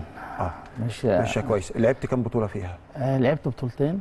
عملت فيهم واحدة خدت مركز تاني. كان فين؟ كانت في كاليفورنيا. كاليفورنيا. و...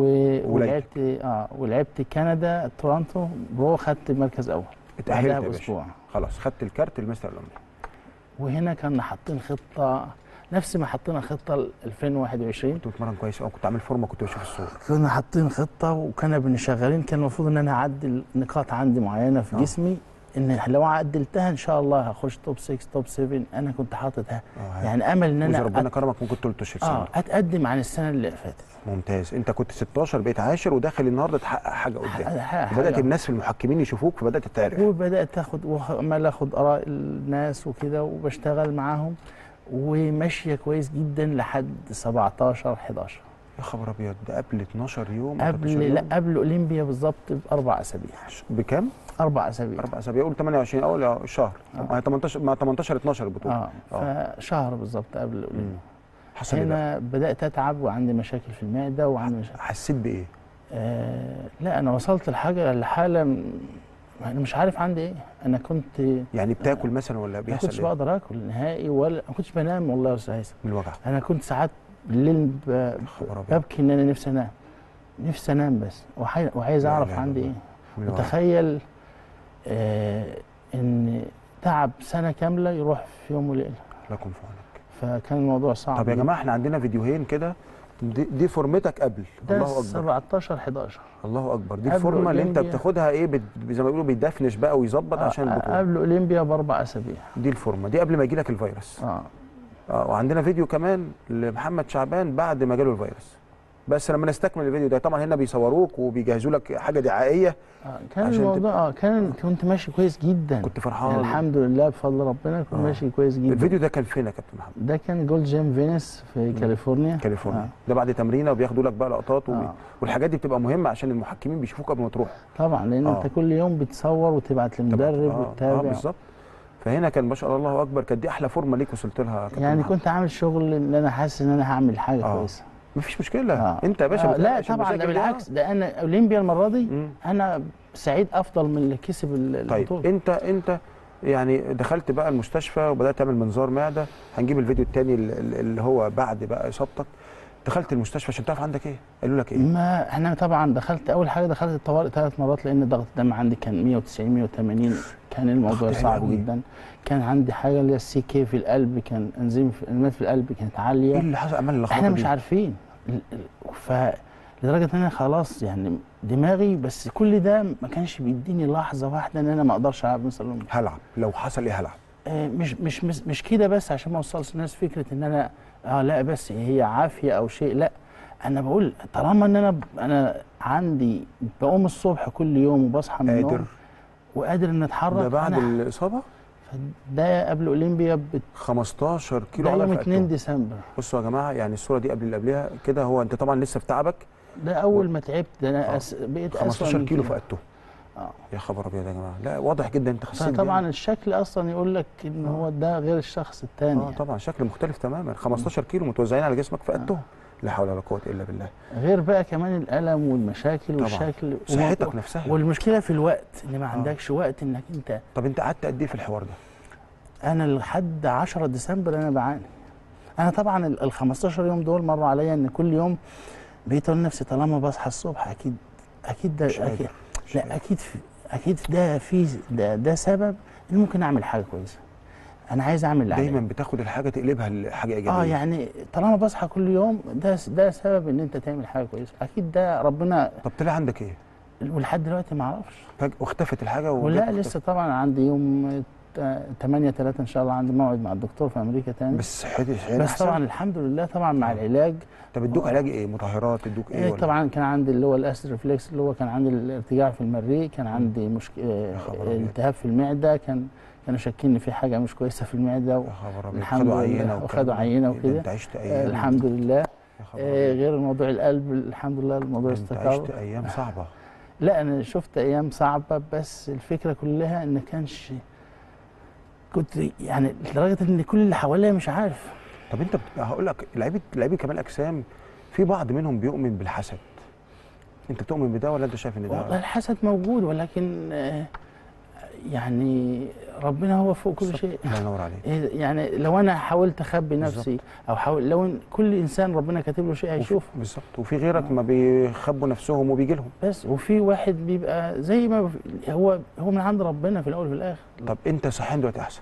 طبعا الحمد لله. لا أنا أنا لو كنت شفتني أيامها الأستاذ صلاح آه، آه، طبعا كان شايف- معايا دايما آه. فكان شايف كان عايش الوضع يعني. طب انت أنت يعني دلوقتي عندك أنت قاعد في القاهرة قد إيه إن شاء الله؟ أنا قاعد في القاهرة اليوم 6 3 إن شاء الله. طبعا يعني بنشكرك. أنت كنت طبعا مسافر بكرة قريتك وكده. آه. النهارده النهارده وأجلت ده وأجلت آه، ده عشان تبقى معانا. أنا بشكرك ده ده أنا. ده اللي اسف ده أنا اللي لا، ده, حسن حظ لا ده حزن حظنا إن أنت تبقى معانا. و... ونتمنى لك أكيد إن أنت تبقى إن شاء الله أحسن وتكمل. طيب أنت بتمرن دلوقتي عادي؟ آه الحمد لله. بتمرن عادي و... لا الحمد لله. أنا سبحان الله. الغذاء والأكل تمام؟ آه تمام الحمد لله. هو. الفترة دي بدأت تتحسن يوم عن يوم. أنا زي ما قلت لك نفسيا والله أنا خ... أنا فاكر يوم ما خرجت من أوضة العمليات الدكتور قال لي هتقعد ثلاث أيام ما, ما ينفعش ده بعد تت- المنظار. آه تتمرن أو تسافر أو أو. فقلت له ماشي. فأنا فاكر في اليوم ده كويس قوي خرجوني بكرسي بعجل ادوني السيارة فركبت روحت البيت ساعة بالظبط ما قدرتش أتحمل طلعت على التمرين. مش قادر تصدق مسكن أنا وطلعت على التمرين اتمرنت. ممكن يكون ده شيء غلط بس أنا جوايا ان عايز مش عايز تستسلم. مش عايز أستسلم. طب ما أنا أحاول طالما أنا قادر أتكلم قادر أتحرك قادر خليني أحاول لحد. قبل أولمبيا بيومين أنا بقول أنا هحاول هقدر ولا لا الله أعلم. قلت أنا عايز أظهر على الستيج بشكل كو- كويس أنا مش مهم أنا حتى كان في مكالمة بيني وبين آه، طيب يعني آه، كانت مكالمة بيني وبين رامي في الوقت ده آه. آه، هتقدر مكالمة بينك وبين؟ بين أنا وبين رامي على التليفون بقول له. بنتكلم في الموضوع ده قال لك هتقدر لا هتقدر تقول له حاول. قال لي لو مش هتقدر بلاش عشان صحتك آه، يعني. خايف. خايف عليا طبعا. فقلت له هحاول. لحد لما بي... قبل- آه لحد قبل أولمبيا بيومين أنا بقول هحاول. قصة يعني قصة فيها كفاح ولسه بس لسه عندك. شاء الله لسه ما عشان كده أنت مؤمن بنفسك. طب أنت أنت أنت ناوي تخش بطولات قريب؟ يعني دلوقتي عايز بقى تخش بطولة عشان تتأهل الاولمبيا حاليا جاية أنا بظبط آه، المشاكل اللي عندي الأول آه الأول إن شاء. الله. مفيش مشكلة. أول ما. أتحسن وأحس إن أنا عايز مش عايز أظهر على المسرح تاني. لما أكون 100% سليم. ومش عايز أظهر بس إن أنا ألعب وبس. أنا عايز أحقق لأن أنا ماشي على على على حلم عايز أحققه. إن شاء الله. فعايز أوصل إن أنا أت... لما أطلع على المسرح أعمل حاجة كويسة. هتعمل إن شاء الله. شاء الله. الإصرار ده يعني عندك إصرار وعندك level عالي من التحدي. الحمد يعني لله. أنا شايف حتى في عينيك level تحدي بس بأعصاب هادية بدون شد بدون tension بدون حاجة. طيب إحنا إحنا مجهزين شوية صور كده. أعزائي المشاهدين نجهزها كده وهنقول. طيب نبتدي بالصورة دي. أولمبيا ده بيج رامي معاك أهو. أولمبيا 21 آه. أنا دي, واحمد دي, دي هناك الوداني. في أمريكا. آه وحسن طبعا و... ناخدها من اليمين. بيج رامي. بيج رامي حسن مصطفى. حسن مصطفى نجم مصر برضو كمال طبعاً أجسام. مستر إسلام. قطام طبعا مؤسس نادي أو أحمد سكواد. البطل الكبير بقى أحمد الورداني. والشخص ده مش عارف لا ما تعرفوش أنت. اللي شايف الثالث ده. طبعا أنتوا كلكم الجميل إن أنتوا كلكم لا ارجعوا لي الصورة الثانية معلش يا جماعة. الجميل إن أنتوا مصريين بتنافسوا بعض بس كلكم مع بعض. طبعا. ومدين صورة للبلد حلوة. ال- ال- المسرح حاجة يعني هتلاقي ليا فيديوهات دايما. أنا على ال stage المرة دي كنت على المسرح بشجع رامي. أما السنة اللي آه. فاتت نفس الشيء بشجع رامي. طيب. يعني أنت في المسرح قاعد بتشجع بيج رامي وهو لما أنت بتطلع بيشجعك. طبعا. كلكم ورا بعض مدين صورة لمصر حلوة هناك وده المهم. تخش على الصورة اللي بعد كده يا جماعة. ده مع معالي الوزير آه، 2000 دكتور أشرف صبحي. دي كانت 18 إمتى؟ 2018 2008 ده بقى أول ما بدأت تظهر. آه دي كانت في الوزارة؟ دي كانت في الوزارة. طب الهدف من المقابلة كان إيه؟ كانت 2018 كنت عايز أسافر أمريكا. كنت عايز مم. تسهيل للم- للناس طبعا والشباب. مشكلة آه. بتقابل الشباب النهارده إنها بتح... بت... بتقابل صعوبات عشان تسافر. آه أمريكا أمريكا. فكنت عايز إن احل المشكلة للشباب مش بس لمحمد شعبان أنت رايح لنفسك ولغيرك آه يعني حل إن آه. الناس اللي بتصرف وبتجتهد مش عايزة غير تسهيل في الأوراق مش. عايزين فلوس مش عايزين حاجة هم عايزين تسهيل بس قرار وزاري حاجة بس. أي شيء إن هو كان يساعد الشباب على السفر استجابة للأسف لا يمكن ما أعرفش يعني آه، هو يعني ما يعني بس أنت ما استس... يعني برضه لا مشيت من عند لا. لا طبعا آه. والنهاردة أنا يعني أنا قاعد مع حضرتك ومعايا جنسية أمريكية ومعايا جنسية مصرية. آه. وبلعب باسم مصر. باسم مصر؟ لا أنا عايز أعرف- يعني أنت دلوقتي معاك جنسية أمريكية ومصرية ومصر وبلعب بتلعب باسم مصر؟ وبلعب باسم مصر في اولمبيا الله عليك. يعني بالرغم من كل ده بص آه، يعني بالرغم أنا عايز أقول إن لا قول لي أنت جيت من المعصره بقيت بس- جنسية أمريكية إزاي؟ ومع ذلك أنت بتقول أنا هفضل أمثل مصر وألعب باسم لا مصر. طبعا. طيب نشوف الصورة اللي بعد كده. ده الحاج كبير. ده الحاج. طيب إيه يعني لما بدأت تحقق دي صورتك معاه ده في حصاله الحديد ده ما سابكش كمان؟ لا هو معايا دايما طيب. بحب آخده ساعات لما انت. حققت نجاحات انت قلت أنا لو عايز تقول شكرا للي امن بيك؟ آه أنجح. أنجح. قال لك إيه؟ آه مبسوط جدا دايما يعني بيشجعني ودايما لأن طبعا إحنا يوميا بنتكلم حتى في التليفون فيديو كول وكده. فهو صاحبي مش أبويا يعني. الله يخليه لك. فربنا يديه الصحة ويحفظه. طب لما تعبت آه، قلت له ولا لا كان؟ بيجنن بقى. يعني بيجنن. لكن هو اللي تعبان وأكتر يعني. طبعا. هو هو واضح إن في علاقة بينكم بعض مش أبوة دي صداقة. لا لا صداقة يعني. إحنا مم. اتنين أصدقاء آه، مش أب وابن يعني. وبتحكي له كل حاجة كل حاجة. كل يوم. كل يوم يعني. كل كل, يوم. يوم. مع بعض. طب آخر نصيحة اديها لك إيه؟ فاكرها؟ آخر حاجة كده قالها لك في التليفون. استنوا يا آه، جماعة بس الصورة دي آه، هتقوم هو قال لي قال لي ربنا يكرمك وهتوصل. دعوة. بس آه، قال أنا م- يعني مقتنع تماما إن أنت هتوصل وهتوصل اللي أنت آه. عايزه وأهم حاجة صحتك. الله. دي كان دايما يقولها لي في التليفون في في الفترة الأخيرة. ربنا يخليه لك يا رب. طب نخش على الصورة اللي بعد كده؟ دي وانت في ورشتك في الورشة ورشة النجاره دي كانت طبعا في قريتك المعصره آه. آه. دي كانت دي صورة دي 2014 بدأنا بيها الحلقة. 2014 دي آه، وانت يعني بالعكس انت فخور بكل فترة بفترة لا حياتك. بالعكس ده أنا بحب اللي ينسى اللحظات ديت يبقى إزاي إنك أنت أساسا هت هتكمل لو ما كنتش تفتكر صحيح. اللحظات دي. طيب الصورة دي. في رومانيا وكانت واخد المركز الثالث في بطولة آه، مصر رومانيا. طب مين ده؟ ده كان تبع كان معايا في الوقت ده كنت عايز أشكر السفير المصري في في- السفير المصري لا كان مع مع- مع. الس- مع المجموعة والسفير مصر وقتها كان حضر البطولة وبعدها عزمنا على العشاء وتعشينا أنا وهو الأسرة بتاعته. كان محترم جدا. جدا جدا طبعا. كنا ف- دي طبعا مع صديقك وحبيبك. ده طبعا مع رامي ربنا يوفقه في البطولة إن شاء الله. بيلعب مستر آه، كلاسيك أرنولد كلاسيك. له شاء الله أسبوعين فعايزين ندعي له برضه. رب. ربنا يوفقه. ويكرمه إن شاء الله. ندعي لك بالتوفيق إن شاء الله ربنا يحفظك. محمد دلوقتي الحلقة عدت سريعا وأنا آه. اتبسطت جدا. أنا اللي مبسوط جدا والله إن أنا معاك و... وبصراحة أتمنى ان أكون وصلت للناس فكرة ولو صغيرة عن محمد شعبان وعن من الشباب إن أنت تقدر تعمل حاجة. ان مفيش مستحيل. واللي قدامك ده شخص بسيط جدا وطلع من مكان بسيط جدا بس انه قدر يوصل لحاجة. مش حاجة كبيرة قوي بتمنى أكبرها. بس إن شاء الله إنك أنت تقدر تبقى زيه أو أحسن وتبقى زي. رامي أو أو أحسن تبقى زي ورداني أو أحسن زي حسن. كل الناس مفيش حد أحسن من حد. أنا بشكرك نورتني وشرفتني يا كابتن محمد. ربنا يحفظك. عليك ربنا يديك الدعاء الصحة. ليك إن شاء الله. ربنا يديك. الصحه اتشرفت بيك نورتني وشرفتني أعزائي المشاهدين دي كان حلقتنا النهارده مع نجم كمال الأجسام المكافح. قصة كفاح كبيرة.